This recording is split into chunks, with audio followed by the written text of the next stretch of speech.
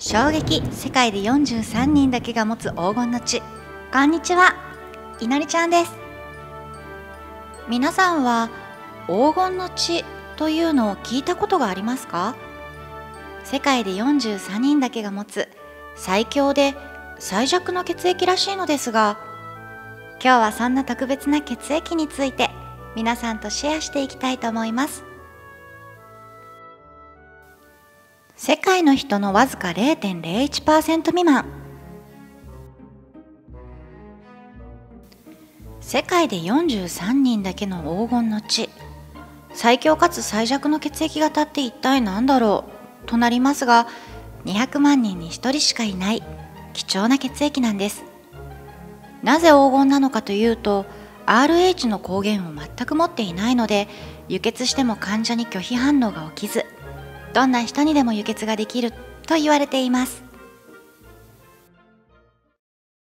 200万人に1人の RH ヌル。人間の赤血球の表面には最大で342種類の抗原があり赤血球表面にある抗原によって A 型 B 型 O 型などの ABO 式血液型や RH 因子で分類する RH 式血液型などの血液型があります。ところが ABO 式の抗原はあっても RH 抗原を持たない血液があるのです。この血が RH ヌルと呼ばれ世界で43人だけなんです。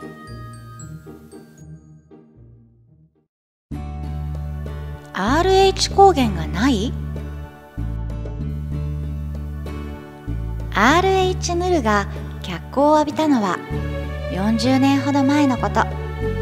当時10歳の少年がジュネーブの大学病院に運ばれてきました。少年の血液を調べて医療スタッフは首をひねりました。なんと少年の血液の中には RH 抗原が存在しなかったからです。この大学病院のマリホセ博士はそれを信じられずアムステルダムとパリにある研究所にも少年の血液の解析を依頼しましたが結果は同じで少年の血液型が RH ヌルであることがなんと分かったのです。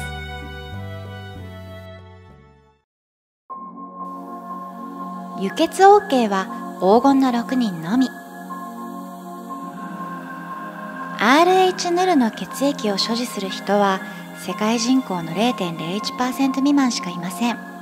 そのうち輸血に応じるというのは意思表示を示しているブラジル中国そして日本に住む6人だけなんです。そのため黄金と呼ぶにふさわしい人たちとなります。その血は今イギリスの研究所で厳重に保管されています。最強と言われる最弱な黄金の血。RH ヌルの人は黄金の血を持つ人。と何度もお話ししましたが冒頭でもお伝えしたように最強の反面なんと最弱でもあるのです。なぜかというとこの最強な黄金の血は輸血を必要とする人だけに適用されるからなのです。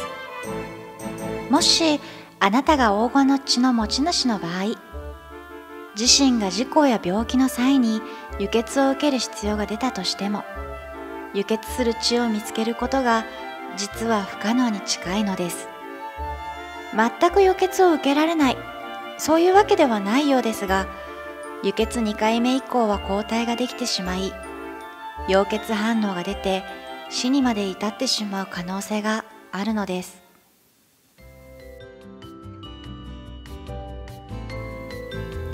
かがだったでしょうか？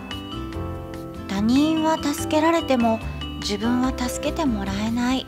なんて結構辛いですよね。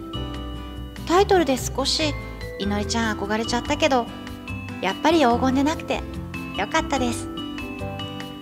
この動画がたくさんの方に見ていただけるように動画の拡散を希望しています。ご協力いただける方は最後にグッドボタンを押していただけたら幸いです。チャンネル登録もお待ちしております。最後までご視聴いただきありがとうございます。